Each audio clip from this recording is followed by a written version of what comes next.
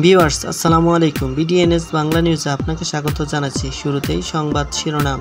বিচার ব্যবস্থাকে হাতিয়ার হিসেবে ব্যবহার করছে সরকার, জানাচ্ছে ফখরুল। আওয়ামী লীগ ক্ষমতায় থাকলে নিরপেক্ষ নির্বাচন সম্ভব নয়, জানাচ্ছে চরমনাই। আরও জানাব, কোনো কিছুর উপরে বিএনপির আস্থা নেই, জানাচ্ছে তথ্যমন্ত্রী। আমেরিকা আওয়ামী লীগের একই চাওয়া, অবাধ সুষ্ঠু নির্বাচন, জানাচ্ছে ওবায়দুল কাদের। সবশেষ জানাব, নুরুল হকের বিরুদ্ধে সরকারি কাজে বাধা দেওয়ার মামলা করল পুলিশ। এবার বিস্তারিত। এদিকে দলের ভারপ্রাপ্ত চেয়ারম্যান তারেক রহমান ও তার স্ত্রী জুবাইদা রহমানের বিরুদ্ধে সাজার রায়ের প্রতিবাদে শুক্রবার সারা দেশের জেলা ও মহানগর পর্যায়ে প্রতিবাদ সমাবেশ করবে বিএনপি। ঢাকায় নয়াপল্টনে দলের কেন্দ্রীয় কার্যালয়ের সামনে বেলা দুইটায় এই কর্মসূচি অনুষ্ঠিত হবে। বৃহস্পতিবার দুপুরে নয়াপল্টনে দলের কেন্দ্রীয় কার্যালয় থেকে এক সংবাদ সম্মেলনে বিএনপির মহাসচিব মির্জা ফখরুল ইসলাম আলমগীর এ কর্মসূচির ঘোষণা করেন। জ্ঞাত আয় বহির্ভূত সম্পদ অর্জনের মামলায় তারেক রহমান ও জুবাইদা রহমানের রায়ের প্রতিবাদ জানিয়ে মির্জা ফখরুল ইসলাম আলমগীর বলেন, শুধু রাজনৈতিক উদ্দেশ্যে এই রায় দেওয়া হয়েছে। এই রায় দিয়ে চলমান আন্দোলনকে স্তব্ধ করে দেওয়া যাবে না। বিচার ব্যবস্থাকে প্রধান হাতিয়ার হিসেবে ব্যবহার করছে সরকার। এমন মন্তব্য করে বিএনপির মহাসচিব বলেন, এই বিচার বিভাগকে ব্যবহার করে নির্যাতন, নিপীড়ন ও হয়রানি করা হচ্ছে। জাতিকে চিরস্থায়ীভাবে সহিংসতা ও অনিশ্চয়তার দিকে ঠেলে দেওয়া হচ্ছে। বিএনপির মহাসচিব আরও বলেন, অস্তিত্ব রক্ষায় যে আন্দোলন শুরু হয়েছে, ঠিক সেই সময়ে এই আন্দোলন তিনি নেতৃত্ব দিচ্ছেন। তার নেতৃত্বকে প্রশ্নবিদ্ধ করতে এরা এই রায় দিয়েছে। তবে এভাবে আন্দোলন কখনো স্তব্ধ করা যাবে না, বন্ধ করা যাবে না। দাবি আদায় না করে জনগণ ঘরে ফিরে যাবে না বলে উল্লেখ করেছেন ফখরুল। এ সময় ফখরুল আরও বলেন, শুধু তারেক রহমান নয়, যে জুবাইদা রহমান রাজনীতির সঙ্গে সম্পৃক্ত নন, তাকেও সাজা দেওয়া হয়েছে। তারেক রহমানকে যে ধরনের মামলায় সাজা দেওয়া হয়েছে, একই ধরনের মামলায় আওয়ামী লীগ নেতাদের খালাস দেওয়া হচ্ছে বলেও দাবি করেন মির্জা ফখরুল ইসলাম আলমগীর। তিনি বলেন, শেখ হাসিনার বিরুদ্ধে পনেরোটি মামলা ছিল। এই আদালতকে ব্যবহার করে সব মামলা উঠিয়ে নেওয়া হয়েছে, অথচ বিএনপি নেতাদের পঁচিশ বছর আগের মামলার ফাঁসি আদেশ দেওয়া হয়েছে। গণ অধিকার পরিষদের সভাপতি নুরুল হক নুরের উপর ছাত্রলীগের হামলার প্রতিবাদ জানান মির্জা ফখরুল ইসলাম আলমগীর। সংবাদ সম্মেলনে উপস্থিত ছিলেন বিএনপির স্থায়ী কমিটির সদস্য মির্জা আব্বাস, গয়েশ্বর চন্দ্র রায়, আব্দুল মঈন খান, আমির খুসরু মাহমুদ চৌধুরী, ভাইস চেয়ারম্যান বরকতুল্লাহ বুলো চেয়ারপারসনের উপদেষ্টা পরিষদের সদস্য আব্দুল সালাম, জ্যেষ্ঠ যুগ্ম মহাসচিব রুহুল কবির রিজভি। এদিকে আওয়ামী লীগ ক্ষমতায় থাকলে কোনো সুষ্ঠু নির্বাচন হওয়া সম্ভব নয় বলে জানিয়েছে ইসলামী আন্দোলনের আমির ও চরমনায় পীর সৈয়দ মোহাম্মদ রেজাউল করিম। তিনি বলেন, আওয়ামী লীগ জনগণকে ধোকা দিয়ে বোকা বানাতে, অবাধ, সুষ্ঠু, নিরপেক্ষ নির্বাচন আয়োজন করতে যে সক্ষমতার কথা বলছে তা অসম্ভব।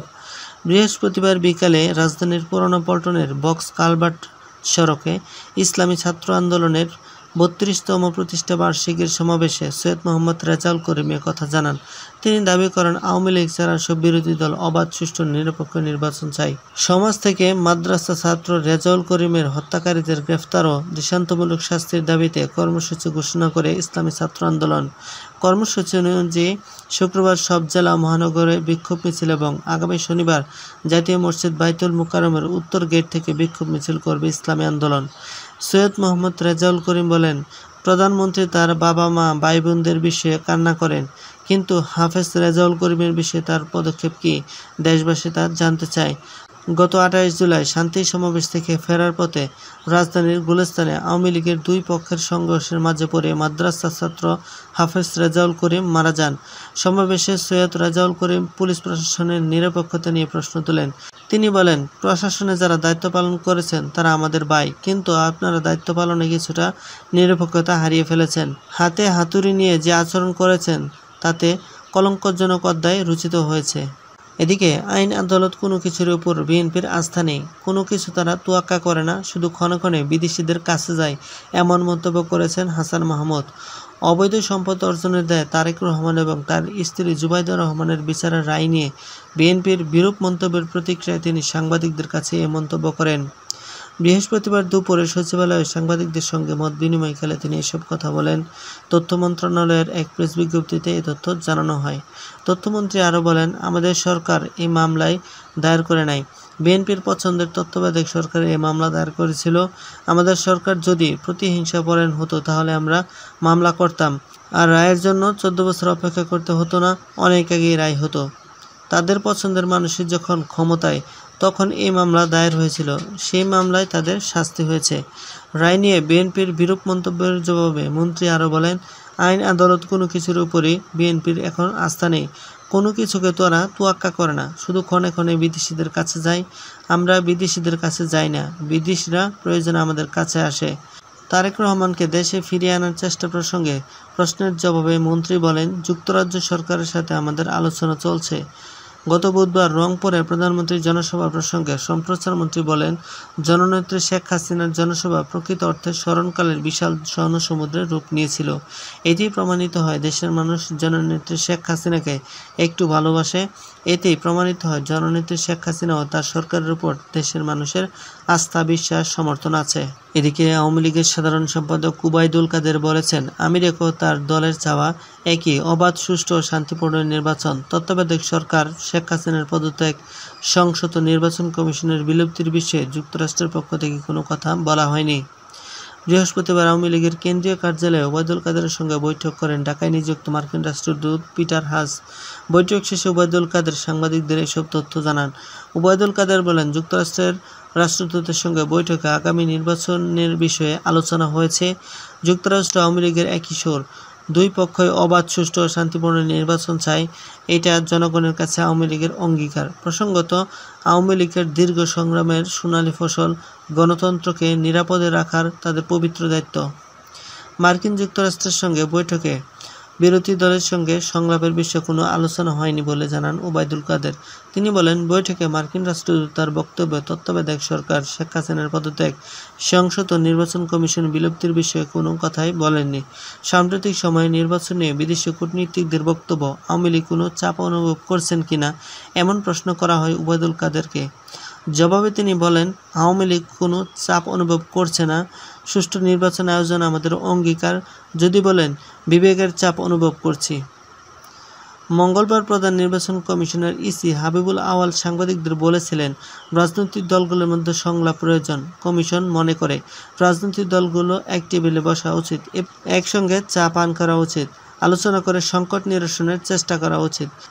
সিএসির বক্তব্যগুলোর বিষয়ে জানতে চাইলে ওবায়দুল কাদের বলেন, রাজনৈতিক দলগুলো কি করবে সেটা তাদের ব্যাপার। এটা নির্বাচন কমিশনের বিষয় নয়, কমিশনের দায়িত্ব সুষ্ঠু নির্বাচন আয়োজন।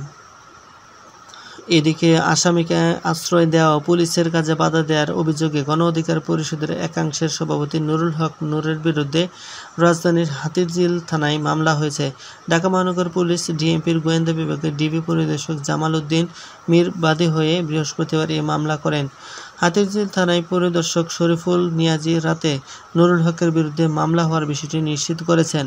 তিনি বলেন মামলায় নুরুল হকের বিরুদ্ধে পুলিশের সরকারি কাজে বাধা দান এবং আসামিকে আশ্রয় দেওয়ার অভিযোগ আনা হয়েছে। মঙ্গলবার গভীর রাতে রাজধানী মহানগর প্রকল্পে নুরুলের বাসা থেকে গণ অধিকার পরিষদের ছাত্র সংগঠন, ছাত্র অধিকার পরিষদের সভাপতি বিন ইয়ামিন মোল্লাকে গ্রেফতার করে গোয়েন্দা পুলিশ। গত একুশ জুলাই রাজধানীর পল্টনে গণ অধিকার পরিষদের কেন্দ্রীয় কার্যালয়ে ভাঙচুরের অভিযোগে ভবন মালিকের মামলায় ইয়ামিনকে গ্রেফতার করা হয়। মঙ্গলবার রাত দুইটার দিকে ডিবি সদস্যরা গেলে নুরুল হক ফেসবুকে লাইভ করেন। তিনি বলেন, মধ্যরাতে তার বাসায় ডিবি হানা দিয়েছে।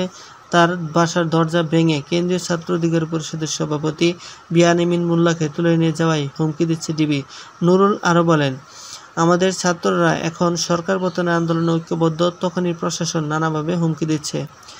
এরপর দিন বুধবার বিকেলে ঢাকা বিশ্ববিদ্যালয়ের ছাত্র শিক্ষক কেন্দ্রে টিএসসিতে এলাকায় নুরুল হক নূর গণ অধিকার পরিষদের নেতা কর্মীদের উপর হামলা চালায় ছাত্রলীগ। তারা নুরুল হকে কয়েক দফা বেদর মারধর করে, এতে নুরুল ছাড়াও দলটির বিশ জনের বেশি নেতা কর্মী আহত হন।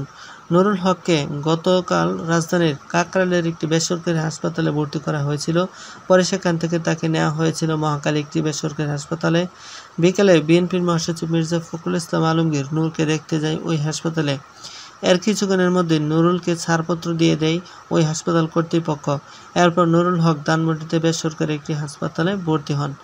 এদিকে নুরুলের বিষয়ে আজ বিকালে ডিবি কার্যালয়ের সামনে ডিএমপির অতিরিক্ত কমিশনার হারুনুর রশিদ বলেন, আমরা মনে করেছিলাম নূর একজন মেধাবী ছাত্রনেতা। ঢাকা বিশ্ববিদ্যালয়ের ছাত্রদের ভোটে নির্বাচিত বিপি তার উচিত ছিল পরিচয় দেওয়ার পরও পুলিশের সঙ্গে ভালো ব্যবহার করা। আমাদের পুলিশ সদস্যরা তাকে পরিচয় দিয়ে বলেছে, আমরা থানা থেকে এসেছি, নূর তাদের চেনেন। কারণ অনেক পুলিশ অফিসার ঢাকা বিশ্ববিদ্যালয়ের ছাত্র ছিলেন। তারপরও আপনারা দেখেছেন তিনি পুলিশকে ডাকাত পরিচয় পুলিশ বস্তির লোক এসব কথা বলেছেন আর নানা ধরনের মন্তব্য করেছেন। নুরুল হক নূর এসব কথা বলার পরও পুলিশ তার প্রতি সহমর্মিতা দেখিয়েছে উল্লেখ করে হারুনুর রশিদ বলেন, তার সঙ্গে ভালো ব্যবহার করেছে এবং তার রুম থেকে আমরা, আমাদের যে মামলার আসামি তাকে গ্রেফতার করে নিয়ে এসেছি। আইনে আমাদের যে দায়িত্ব দেওয়া আছে তার বাইরে আমরা কিছুই করি না বলে উল্লেখ করেছেন।